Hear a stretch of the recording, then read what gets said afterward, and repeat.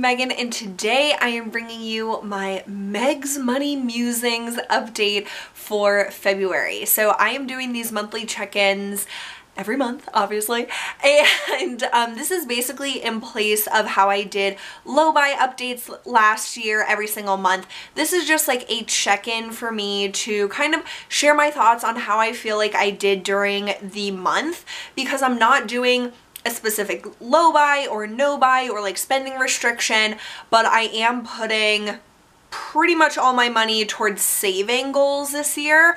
And so I'm trying to really limit my spending in every category not just beauty um, being really mindful and judicious with what I choose to spend my money on and learning how precious my money truly is and how hard I work for it and putting more value in what I buy, I guess. Like, I feel like a lot of the times in the past, I'm just like, oh, this is only 50 bucks or something. Like, I didn't think of it like, whoa, I worked for that $50. Like, do I really want to spend it on this? Is it worth $50? Is it worth getting this instead of something else or is it worth like not achieving my savings goals by buying this and I am really proud to say that I've met all my savings goals for this month. I have automatic transfers to my savings every paycheck and I also do a weekly $20 direct deposit into my savings which I'm saving up for a laptop because my laptop is on its last legs and it's something I know I will need to purchase this year and I could be putting more money towards it and I do put my uh, YouTube paychecks towards that savings goal as well if I choose to. In January I didn't do that because I put it towards I think my credit card bill but this month I did put my YouTube paycheck towards my computer because really the reason my computer is in such bad shape is because I overwork it so much making these videos, exporting them, editing them, all that stuff. Like I'm constantly working on my computer for my videos so I thought putting my YouTube paychecks towards saving up for that makes sense. Probably once I meet like I get enough money for my laptop. I'll probably continue saving my paychecks from YouTube up for a new camera. Um, I like this camera, but it's probably time for an upgrade. One with like a little screen I think would be really nice to see what the heck is going on. Um, but yeah, so just little things that I'm trying to do to make it mindless with saving. And like I said I have direct deposit set up for the day that I get my paycheck bi-weekly. And that's just been wonderful. Like I've been able to earn a lot of interest on the money that I've been saving as well. I use Barclays for all my savings goals and I have like different accounts or like different yeah, different accounts for each like savings goal. So I have like moving out, um, vacations, because I am just about ready to pay off my Jamaica trip for this spring and like different things like that that I'm saving up for. And something that unexpectedly happened this month was I got a crack in my windshield which really sucked. Like I drive a ton. I don't live super close to my job.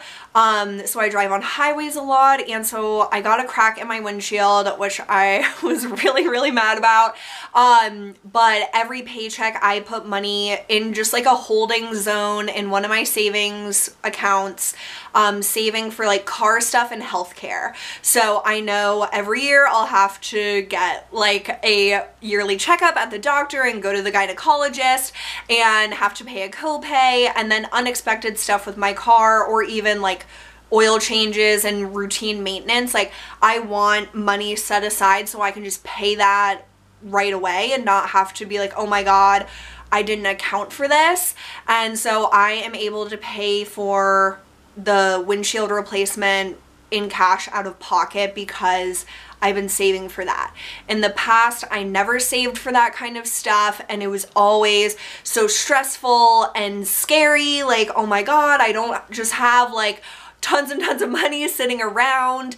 But I've really learned as I've gotten older that you need to have that emergency money and I have a separate emergency fund just in case like I lose my job or something like happens um, that's bigger that I would need more money but for like car stuff and like insurance things like that that I know are coming every year I am really glad and proud of myself for thinking about that and saving money towards it. So I don't have to um, like not meet my savings goals because something unexpected happened.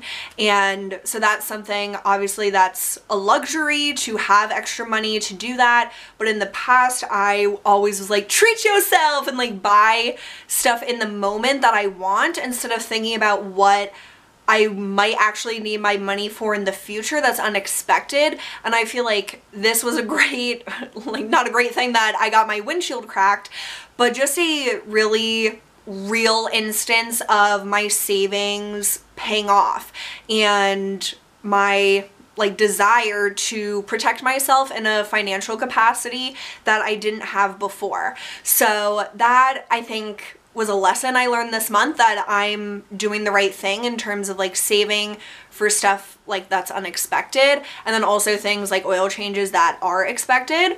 Um, so if you have extra money or can budget money towards saving for those types of things, I think that's a wonderful thing to save for um, just in case. Like it totally sucks, but it was more of an inconvenience than like, oh my God, like I can't afford this to get it fixed. So that felt really, really good um, that I could do that for myself.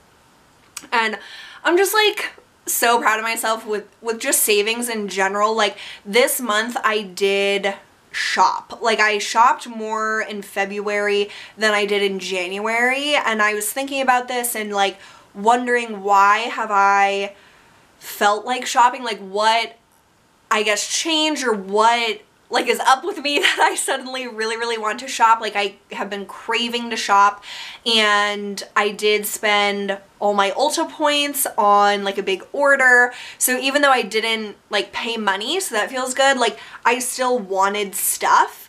And that's always interesting to me because a lot of this like is about the money but it's also like I really love stuff and I want stuff and I want more stuff.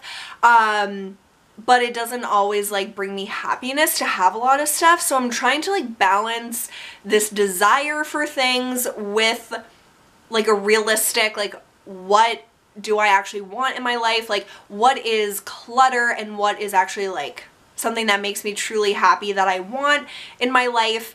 And so that's like an ongoing battle, but I am proud that I used my points instead of spending actual money. And I don't know if any of you guys have this problem, but this has been like really frustrating me and I don't know, like there's definitely psychology to it where if in a, if like a store or whatever has points, um, specifically, I'm talking about Ulta and Starbucks.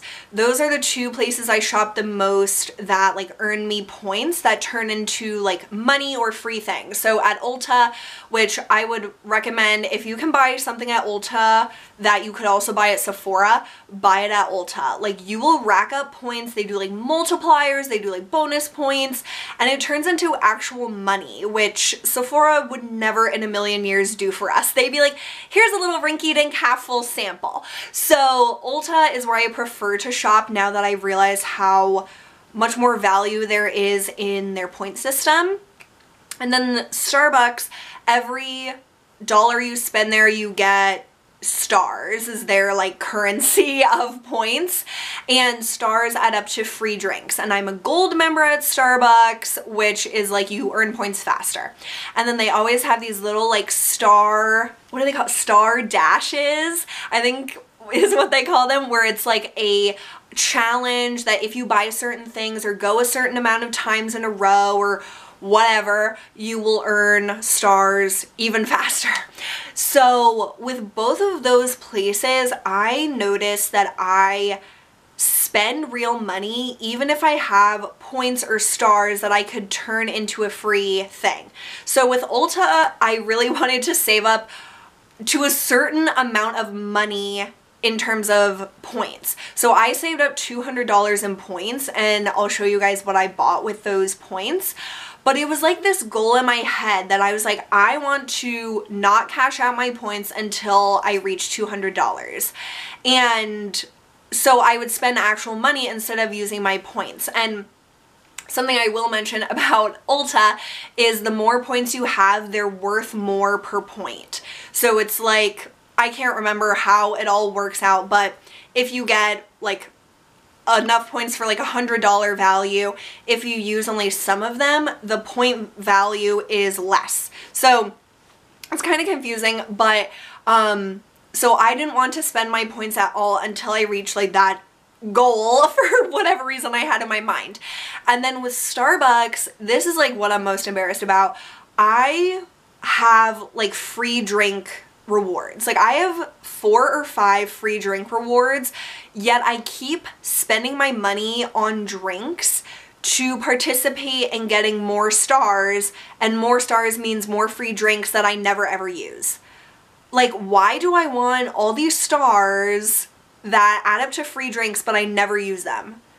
It's like crazy. Like when I like I've been aware of this for a few months and all these like star rewards and stuff like that keep happening and if you use a reward you don't get extra stars and so I'm like I need to get these stars I need to do these challenges and it's like why when you have free freaking drinks and the reward of doing all these challenges is more free drinks which you never use like it's super weird. Please tell me I'm not the only one that does it.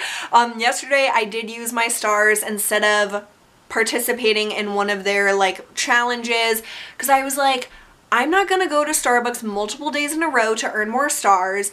I'm just gonna get a drink today for free and enjoy it and then not feel like pressured to go back days in a row and get specific things that they want you to get so then you get stars because you don't just um, get like the points in the challenge if you buy anything. It's like you have to buy certain things. Oh my god, it's so annoying. But I'm a sucker for it and they know that. So I don't know. That's something that I've been more aware of this month and just trying to like talk myself off the cliff with that. Like use your points, use your stars. Like with Ulta, how it um, is more valuable to have more points I kind of still think I would save up my points to get like a hundred or two hundred dollars of points before cashing them out.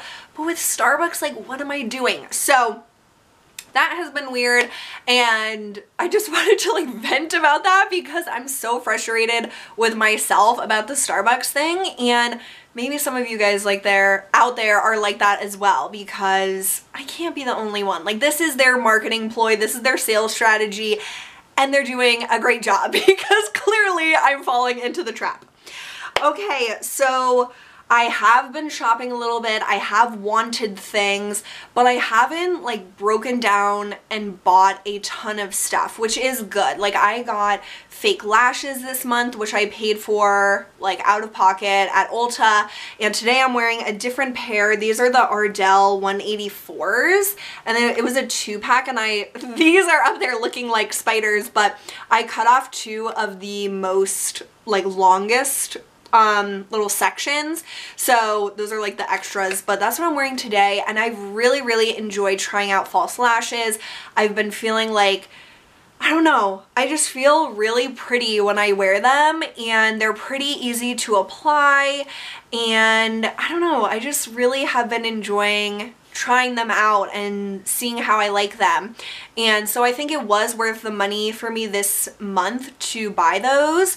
And I bought I bought $50 of false lashes, which was crazy, but then I returned $22 of lashes. So I only spent like 28, which whatever, if that's kind of excessive all at once, but I have been using like a bunch of the different pairs and I've just really enjoyed it. So to me, it was worth it. Some people will be like, oh, why'd you do that? But it's my money, it's my fake lashes, and I've just really gotten a lot of joy out of the process of trying them and I don't know, I just really, really love them. In February, I kind of did like not a lot, but also like a a few like really fun things. Like I went snowboarding with my friends. That cost money, but it was definitely worth it for the experience. And my best friend Alyssa has really wanted to go and she used to snowboard, but she hasn't been in years. So she's been like just dying to go and she really wanted me to try it with her. So me, her brother, and her went and it was really a fun experience. I would not snowboard again. I did not do well at it whatsoever, but it's one of those things like I have talked to you guys in the past. I think experiences are worth so much more than stuff will ever be. And so this month I also bought tickets to see Mean Girls and Broadway that by the time you see this, I will already have been there. And things like that are worth it to me. Like even though it might be like $90 or $100 or something, to me, it's worth doing that and experiencing things and going with my friends or my family. And I don't know, I just really have been more picky, I guess, with what I experience. Like, I don't say yes to everything anymore. Like, I'm a person that I I feel guilty a lot and I don't know if like the people around me really sense that because I'm usually like always like game for anything but a lot of the times I want to do things with the people I love because I want to spend time with them, but also because I feel guilty like if I don't do it, they won't get to do it. And I've realized like I can't I can't put that pressure on myself. And if they really want to do it like they'll do it. Um, but there has to be part of me that also wants to do it. And sometimes they ask me to do something I just really don't want to do and I have to be like strong enough and know like it's gonna be okay our relationship will be fine if I don't do this one thing with them. But it is something that weighs on me and makes me nervous like to say no to someone that I love um, because I know like in a sense it's like saying no to them and I don't know it's like a lot of like emotional like attachment to that type of thing but it also is like my money I want to spend it on the things I actually want to do. So I haven't just been doing everything with everyone and so that makes me feel proud of myself as well that I'm kind of working through that and trying to like be kinder to myself about that kind of thing because like I said I do put a lot of pressure on myself about that sort of thing and so I'm trying not to give in to that. It's not like my friends or family are pressuring me to do it. It's like I pressure myself to say yes and then like I usually always have a great time but I don't know, some things I just don't want to spend my money on. You know what I mean? So that's been like a hurdle that I've been trying to overcome and not feel like as guilty about saying no. But I am looking forward to a lot of things I have coming up that I am doing with my friends. And March is going to be cray to the zay. Like I have a work trip upcoming. I have, um, we have like a sales meeting that I'm going to as well and like presenting at and I have the Ariana Grande concert this month in March and I'm going to visit my friend Chloe. Her and her fiance bought a house so I'm going to visit her and in like a few weekends oh yeah St. Patty's Day I was like what is that big thing that I'm doing for St. Patty's Day I'm going to Philly for the weekend so that was like a costly weekend that I'm going to have to pay for. I'm feeling like March is going to be so busy that I probably won't have time to really want to shop or really have the extra money to shop because like I said doing all those different things costs money and I would rather do those things with my friends than buy a bunch of stuff. So we'll see what happens. I'm sure I will crave to shop in March. Um, in February, did I, I think I went to Target like three times, which is more than I did in January. January, I think I only went once, but one of the times in February was for work, but then I went twice on my own. Um, but I don't feel like I'm as weak in Target as I used to be. So that's good, but I still don't trust myself in Target very much. So I've been trying to stay away as much as possible. Pretty much every day when I get home from work, I do my Nike training club exercise and then like I just am home the rest of the night. Like a lot of the times in the past, I've wanted to like do something after work or like sometimes I will go to a movie. Me and my mom saw What Men Want it was so, so good, you guys. It's really funny, but also like a really great I don't know, it reminded me of Bridesmaids, how it has a nice like lesson to it, but it's also really hilarious. So if you haven't seen What Men Want, definitely go see that. We saw a trailer for Issa Rae's new movie, Little. Oh my god, I could not wait for this freaking movie and I'm so happy for her that she's gonna be in the movies. Like she's gonna be a movie star. Like so, so exciting. Um, but yeah, I just haven't done a ton of stuff like after work. I've mostly just been watching The Bold Type and exercising. So that makes me feel good and definitely always room for improvement. But I'm feeling really good going into March and knowing that like everything that I've been doing for the past two months is working, at least in some capacity. And I'm I'm getting there. Like I'm doing good things and I'm resisting more than I'm saying yes and that makes me feel really wonderful. So those are my thoughts on how I did in the month of February. I hope this was maybe interesting or made you think about your own like experience in the month of February with how you're spending your money. I feel like these videos really help me reflect and I would just be so happy if it helps at least one of you guys reflect on your own spending and shopping impulses and if you have like a strong shopping addiction like me maybe we're going through this like rehab process together and that's like all I could really hope for with these videos is that it's helping someone like it's helping me. So I really appreciate you guys watching today. I hope you're having an awesome one and I'll see you really soon. Bye